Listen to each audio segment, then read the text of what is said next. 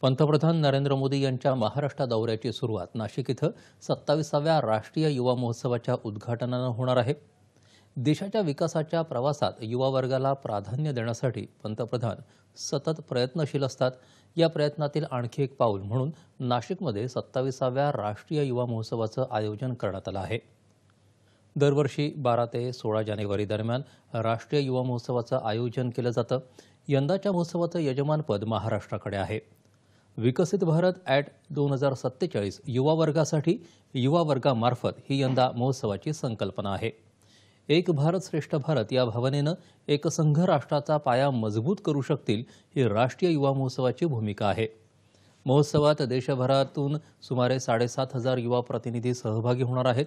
सांस्कृतिक कार्यक्रम देशी खेळ आणि विविध विषयांवर आधारित सादरीकरण युवा कलाकार शिबिर पोस्टर मेकिंग कथा लेखन युवा संमेलन खाद्य महोत्सव इत्यादींसह विविध कार्यक्रमांचं आयोजन यावेळी करण्यात येणार आहे.